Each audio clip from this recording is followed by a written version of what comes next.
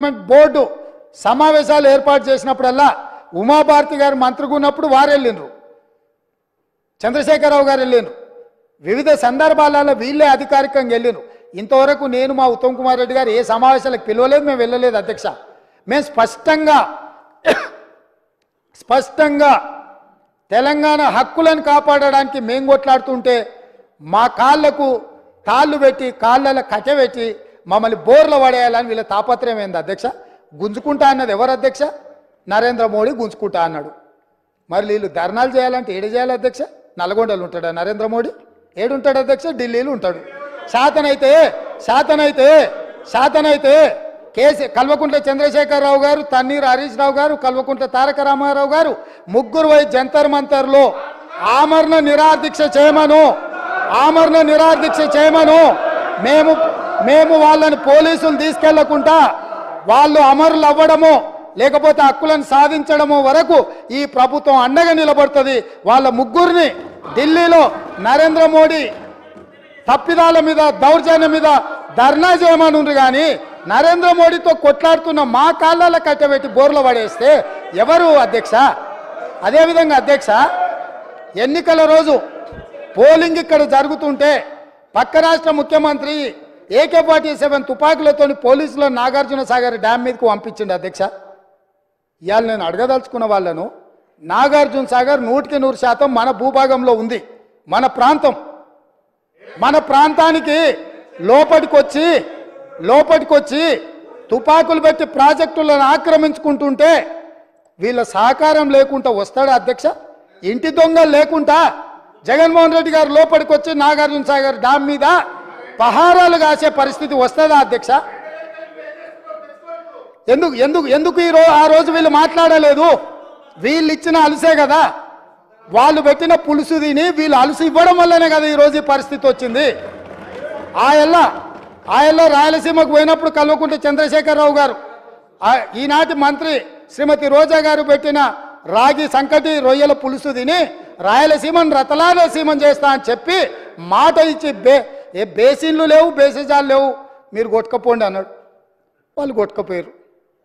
ఇప్పుడు మేము వచ్చినాక అట్టెట్లా కొట్టుకపోతాడంట? ఎవరు అధ్యక్ష బాధ్యత ఎవరు వహించాలి? నీ కళ్ళ ముందే కదా ముచ్చుమర్రి చంద్రబాబు నాయుడు కట్టింది. నీ కళ్ళ ముందే కదా రాజశేఖర రెడ్డి పోతిరెడ్డి పాడును నా నలభై నలభై నాలుగు వేల క్యూసెక్లకు పెంచి తరలించకపోయింది.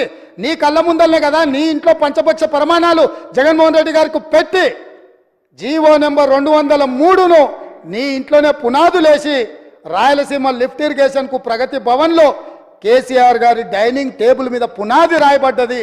దానికి పునాది రాయేసింది మీరే కదా.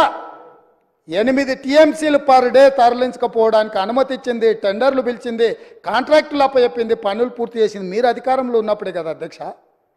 మీరు మొత్తం కృష్ణానది జలాలు మహారాష్ట్ర కర్ణాటక దాటి మహబూబ్ నగర్ జిల్లాలో జూరాల నుంచి పాలమూరులో కలంపూర్లో ఎంటర్ అయి తుంగభద్ర నదిలో వచ్చే నీళ్ళు తుంగభద్ర నుంచి వచ్చిన సుంకేశ్లకు వచ్చిన నీళ్ళు సుంకేశ్ల నీళ్ళు జూరాల నీళ్ళు కలిసి ప్రయాణమై పాలమూరు జిల్లా నుంచి మొదలై రాయలసీమలకు పోయి నంద్యాల నుంచి తిరుక్కొని శ్రీశైలం ప్రాజెక్టు మీదకి వచ్చినప్పుడు శ్రీశైలం ప్రాజెక్టు కొంత తెలంగాణలో ఉంటే కొంత ఆంధ్రాలో ఉంది అధ్యక్ష.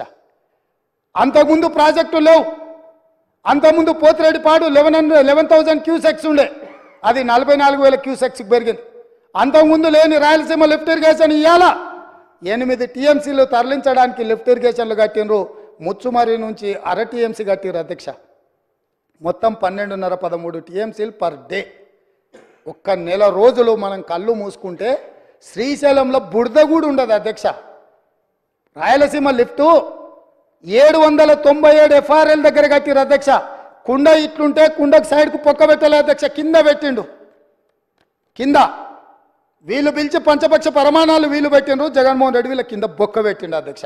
బొక్క పెట్టి మొత్తం మొత్తం తరలించకపోతుంటే మిన్నకుండా ఉన్న మీళ్ళు ఇల్లు ఇవాళ నేను సూటిగా అడుగుతున్న హరీష్ రావుని మిత్రుణ్ణి. రాజకీయాలు పక్కన పెట్టండి మీరు. రాజకీయాలు పక్కన పెట్టండి. మీరు బాధ్యత కలిగిన మంత్రిగా చెప్పు. ఇవాళ రాయలసీమ జిల్లాలో ఉన్న మీ- మీ అవకాశం వచ్చినప్పుడు స్పీకర్ గారు అనుమతి తీసుకొని మీ అవకాశం వచ్చినప్పుడు తప్పకుండా చెప్పదు. ఐఎమ్ నాట్ ఈల్డింగ్ నీకు ఇస్తాడు మైకు స్పీకర్ గారు నేను కాదు ఇవ్వాల్సింది. స్పీకర్ సార్ ఇవాళ మన భూభాగంలో మన భూభాగంలో ఉన్న నాగార్జున సాగర్ మీదకి మన భూభాగంలో ఉన్న నాగార్జున సాగర్ మీదకి తుపాకులతో జగన్మోహన్ రెడ్డి వచ్చి ఆక్రమించుకుంటే చేతగాక చేతగాని సన్నాసులాక ఇక్కడ ప్రభుత్వం చూస్తుంటే ఇవాళ రాయలసీమలో ఉన్న ప్రాజెక్టుల నుంచి నీళ్ళు తరలించకపోతుంటే ఎవరు అడ్డుకోవాలి అధ్యక్ష? ఎవరు అడ్డుకోవాలి?